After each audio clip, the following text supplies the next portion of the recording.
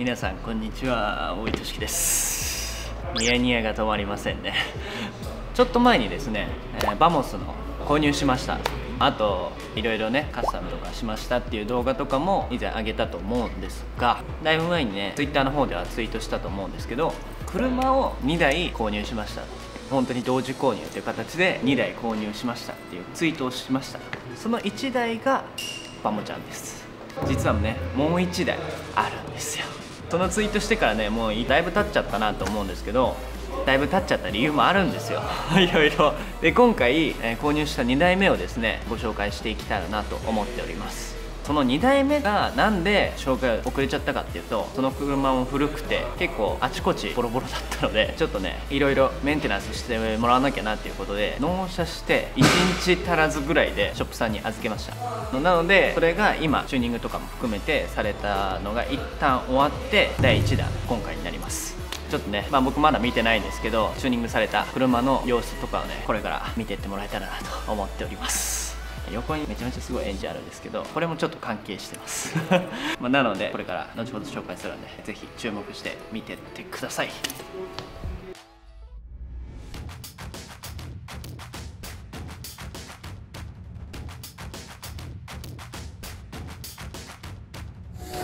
ということでこれから僕も納車してから約2ヶ月ぶりぐらいの期間が空いてだいぶ久しぶりに2台目の車を見に行くのでちょっと楽しみです。それでは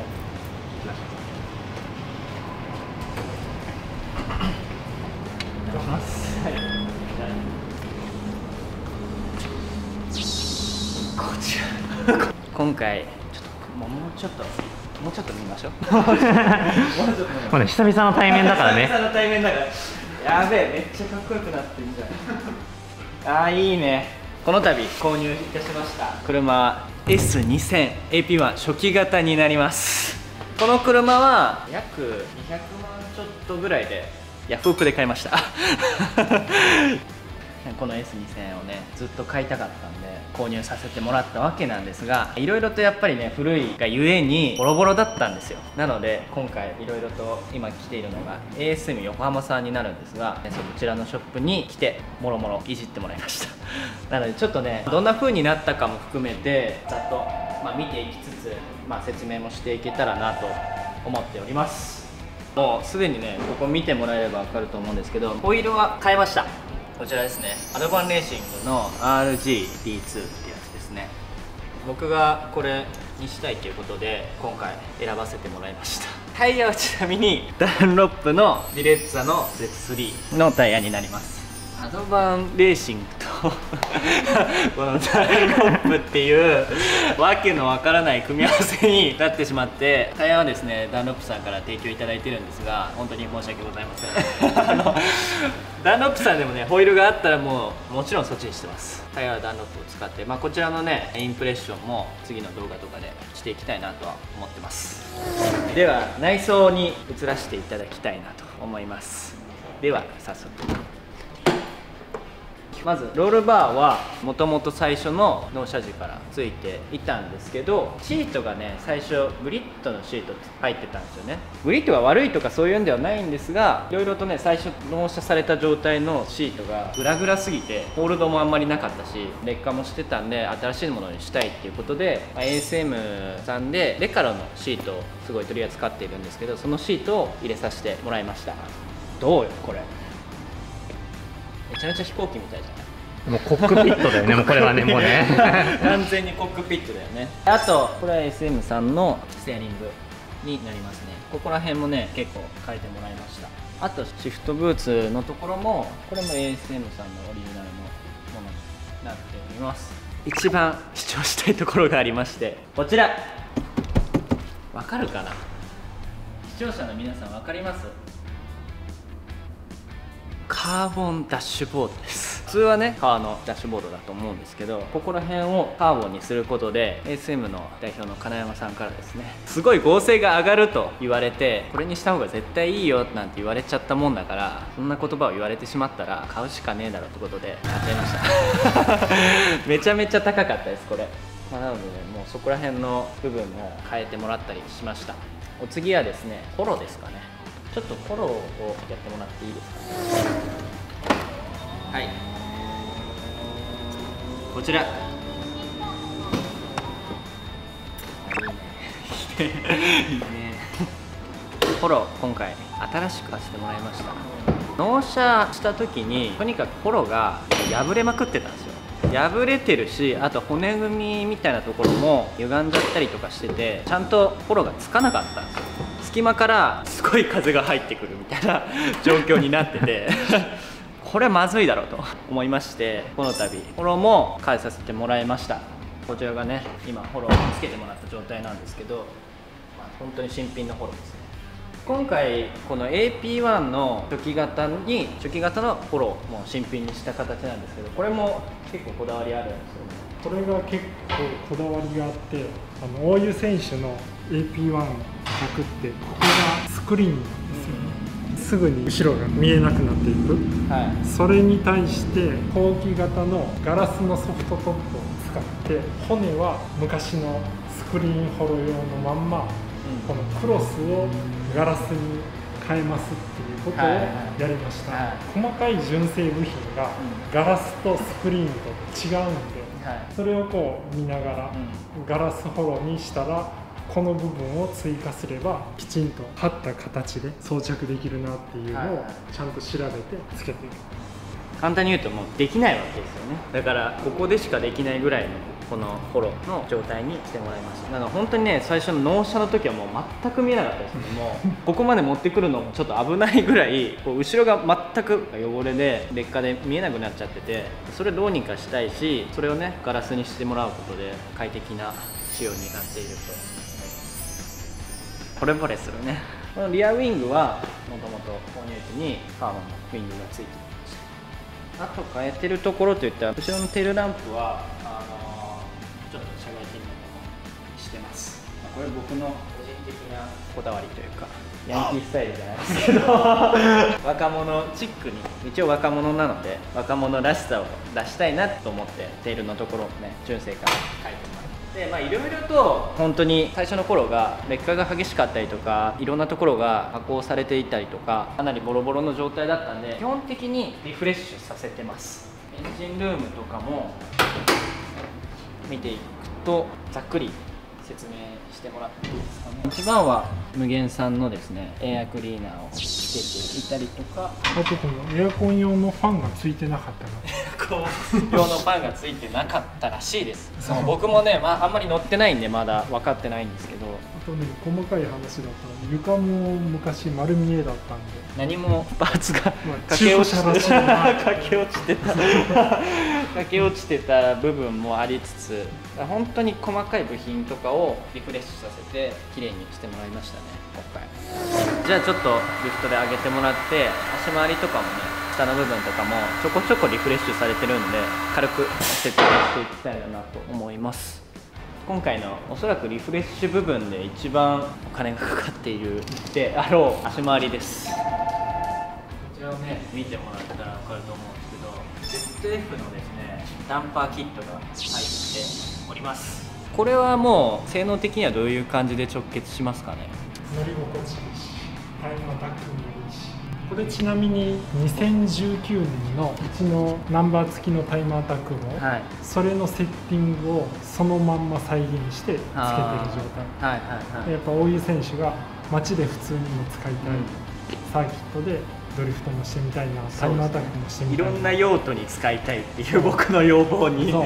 それに一番合う仕様にしてはい装着してます、それのためのナンパキットってことですねだから街寄りも後でインプレッションできたらなと思うんですけどサーキットでもタイムアタックでも使用できるように。ZF のダンパーキットを使ってます。でまあ下回りとかもなんかここら辺のこれなんかも純正でもともとこの横に渡すようはない。トラスバーみたいなのがついてるんだけど、はい。それがついてなかったんではい。それを兼ねてこのサクシードスポーツでやってるはい。補強が、これ前のこの2点が純正シートのレールを止めてる2点ですね。レール止めてる2点と直結させて止めることでその前の2点っていうのはそもそもボディパネルもすごい強固に作られてるんで、うん。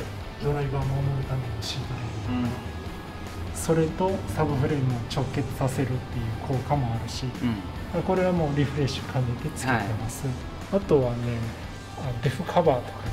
はいはいはい。デフカバーとかデフ系もちょっと変えてますもんね今回で。ドリフト仕様、はい。これはもう僕が S2000 でドリフトをしたいからそれでを遊べるようにっていうことで今回そのデフ関係もいろいろ入れてもらってます。サスペンションブッシュとかもスムーズに動くようにしたり、うんうんあとドライブシャフトも AP2 のしっかりしたやつにうん変わってるんでこれもドリフトなんかにはすごく効くと効果的な部分かなと思われます。そんなとこでしょうか。思います、あとここら辺のブレーキキャリパーホンダの純正のものをつけ。そしてブレーキディスク無限のものを使用して今取り付けてある状態ですまあちょこちょこね無限のパーツとかも使いながら無限のドライバーでもあるので 無限のパーツを買わせてもらって装着させてもらってます。ここら辺もねブレーキの感触も含めて純正とはちょっとね違うフィーリングだったりとかとにかく新品のものをつけてるのでここら辺のタッチとかもねすごく良くなってるのかなと思っています。ヘッドライトも新品ではないんですけどほぼほぼ新品ですね。もう新しいものに取り付けさせてもらってすごい綺麗な状態にしてもらってますね。視界も良好。今回ね ASM 横浜さんっていうショップに S2000 を預けさせてもらってます、まあ、ここのショップはレカロのシートの販売店でもあるんですけど S2000 をですね専門的に取り扱ってるというかもうすごい得意としてるショップさんなのでここら辺にもねもう S2000 がもうずらっと、まあ、外にもねもちろん S2000 いっぱいあるんですけどここら辺にもね S2000 がずらっとあってこちらはタイムアタックで使用している加藤弘樹選手ですね。が 僕の元監督の加藤弘樹選手がアタックしてるんですけどタイムアタックの車両になっていて完全合法の車両となってます軽量化もいろいろされていたりとか中古車も販売しててこちらね とんでもない金額の書いてある S2000 になるんですがっていうかそもそもこちら1.2万キロの S2000 の極上車とかも置いてあってつい先ほどあれですよねこれよりもさらに程度のいいそう。S2000 が引き取られて引き取られていった。3 時間前ぐらいですかね。に引き取られていったらしいんですけどそういうね、まあ、極上車とかいろんな S2000 のチューニングされた S2000 とかも売ってあったりしてます、まあ、こういうねすごい貴重な S2000 とかも置いてあったりとか、まあ、こちらにはもう本当につくばのレコードを狙いにいってるすごい S2000 が置いてありますね。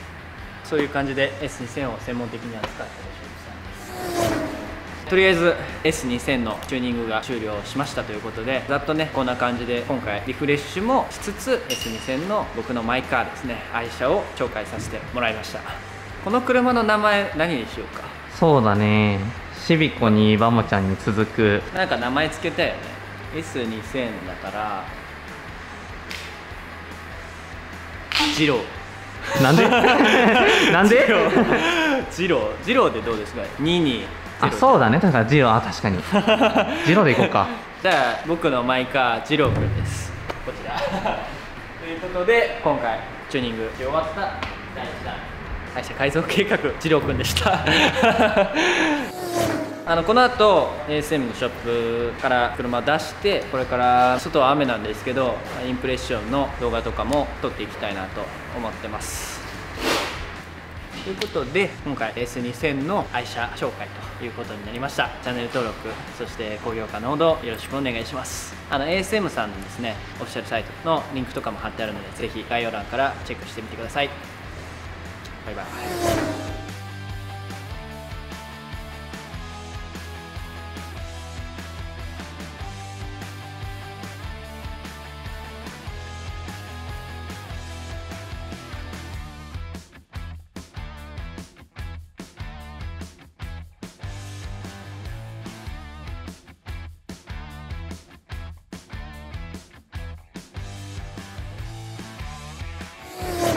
高でしょ？いやもう最高だね。思ったよりやってた。思ったよりやってるよ。だってノーマルって聞いてきてるからさ。うん。マジでかっこいい。